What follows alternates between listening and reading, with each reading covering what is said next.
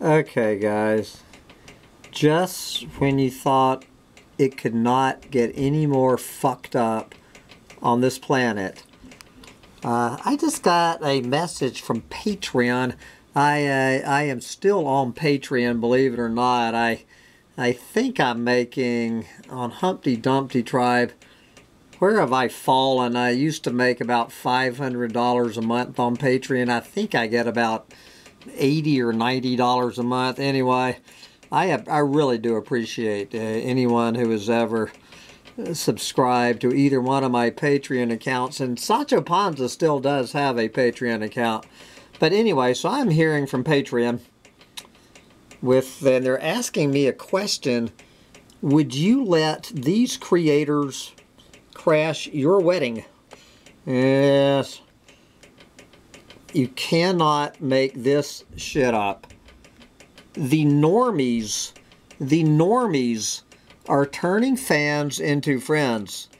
This group of TV losers, oh, I'm sorry, this group of TV lovers never thought they could connect with people just by filming their weekly watch parties I think they mean their TV, uh, uh, their TV, wa- TV watch parties. I think what they do is they pick a television show to watch, sit around the couch, talking about the television show while it's playing. Now they have over 10,000 patrons in their tight knit community. Yes. They might have a massive following, but the normies keep their videos super personal, making every single viewer feel like they're with them on that couch. Yes. Normies viewers are more than just fans. The creators, the normies, game and chat with their normie community constantly building real relationships that last a lifetime. In 2018, the group started NormieCon. I, I, if anyone accusing me of making this up, uh, in 2018, the group started NormieCon as a way to get to know their fans even better. It's where they can talk TV meet new people and hang out IRL, I think, meaning in real life. So the normies have got taken it to real life. The normies have become so close with their fans over the years that they even got invited to one of their normie weddings and showed up. There you go. To learn more about the normies, check out this video. I see I already, I put on an ad for a spool of wire 90 seconds ago and I already just got a text someone in 90 seconds it took me to sell but before I go sell a spool of wire let's check out the normies we're going to come in after the first 37 seconds, which you cannot endure. So who are the normies? Hey guys, it's us the normies. We react to TV shows, movies, we do skits. What's up, nerds? What's great about the normies is it's not just watching somebody react to something, it's like you're hanging out with a group of friends.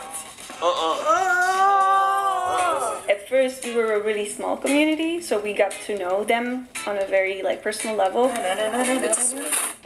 You know, we were sending things for unboxings, and they took the time and effort to get to know us.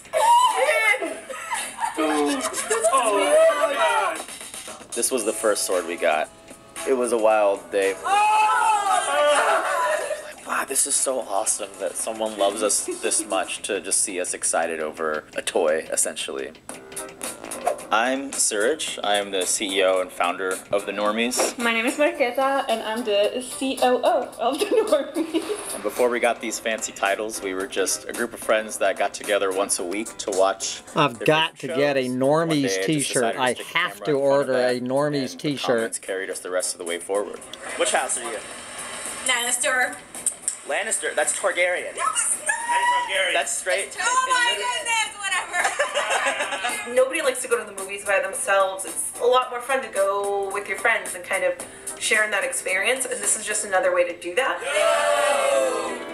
We like to have our informal couch setting because it imposes the imagination of the viewer that they are here with us mm-hmm. and they get to have the back and forth with us. I've got to get the Normie t-shirt.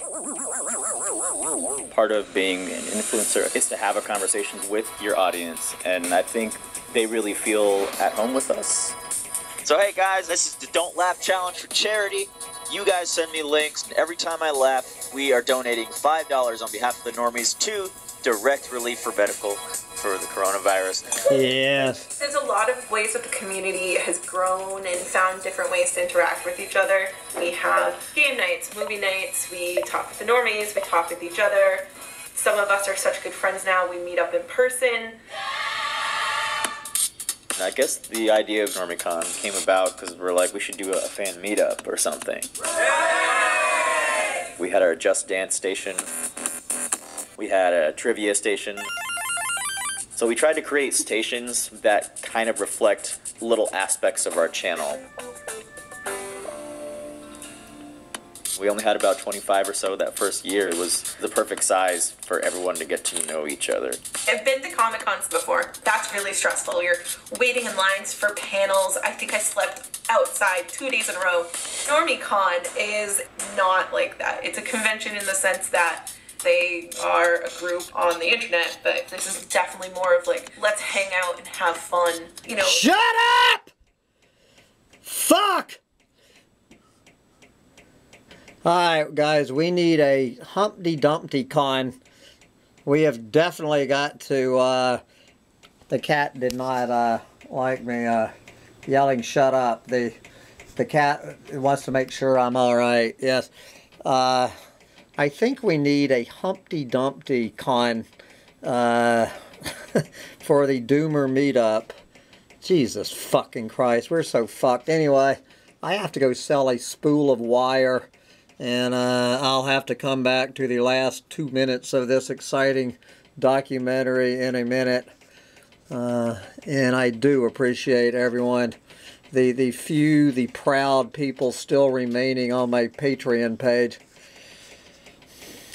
Love you guys because you ain't normies, but we I am getting the normie t-shirt. There's no way I'm going to take the money I make from selling this spool of wire and buy me some NormieCon merch.